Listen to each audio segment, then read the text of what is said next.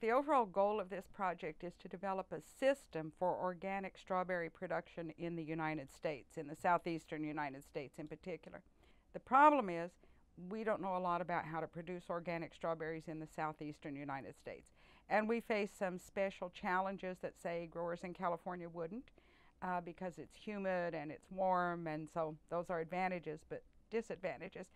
So, really, the goal of this research is not any particular piece of the research, but it's the totality to produce a system that would be economically uh, viable for growers and that would be permit them to get or, organic strawberries into the, the marketplace nationwide.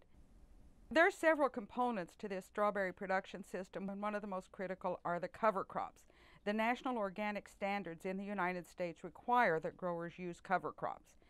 Uh, and of course, that has not been historically what we've done in conventional strawberry production. So, one of our major objectives was to figure out how to use cover crops, how to incorporate that into a strawberry production system. What we are testing in this study is an integrated crop management approach to producing organic strawberries.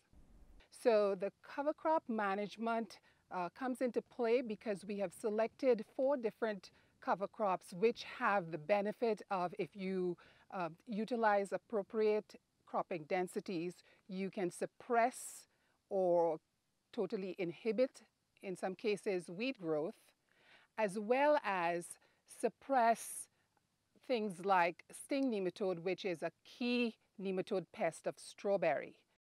Dr. Zhao is looking at cultivar selection because we have many cultivars available Florida, uh, in Florida and nationwide, but they've really never been bred or tested in organic production systems. So she's been looking at eight different cultivars to see which of those cultivars seems to respond the best to an organic production system. And she has tested those in both an open field production system out in the field and in a high tunnel system, which is kind of like a, a horseshoe shaped plastic greenhouse.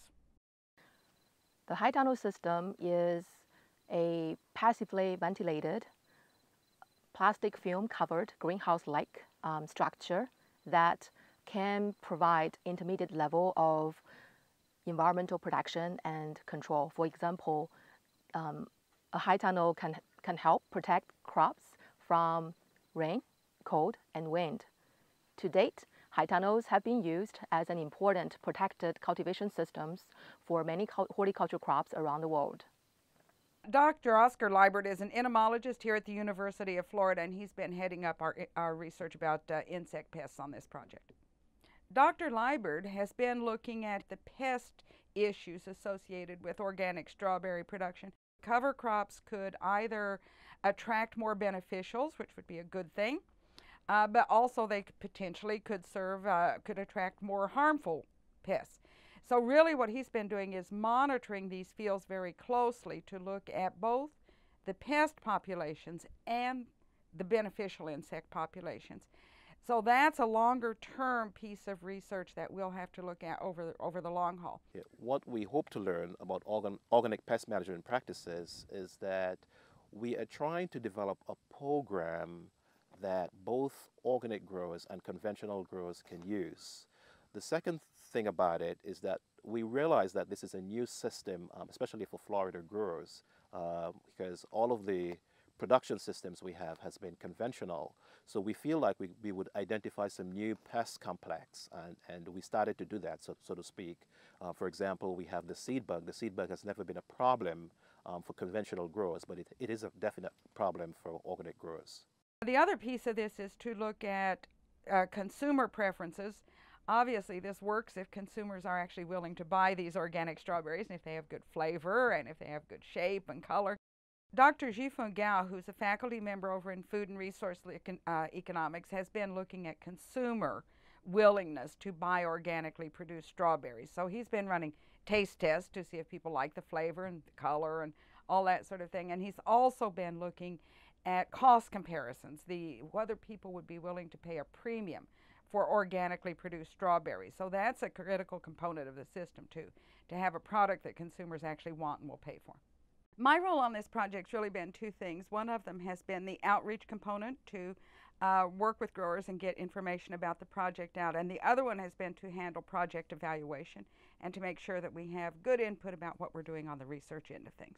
During the project, we've had grower input on several occasions, and it's been really critical not only to this project but to future research. So growers came and what they did was they assessed the research in the field. Sometimes, by the way, they identified problems, say in our field uh, research, that we hadn't identified. So it's really been a critical component of this. And I think the level of involvement from producers has been really exceptional in this project, and we really owe a lot to them. We really need to be able to do this research consistently over at least a three to four year period. And part of that's because it, it is systems research. When you look at a system, things go into or out of equilibrium over time. They change, they develop over time. This project is part of the National Strawberry Sustainability Initiative, and that was started by Walmart Foundation. I think that uh, we really should take our hats off to Walmart for funding this research. I think that indicates an interest in, uh, in American agriculture that is admirable, good for farmers in the United States, good for our economy. And I think the kind of investment that Walmart's made in, in our project and others uh, really can make a difference in the long term. I, I think it can.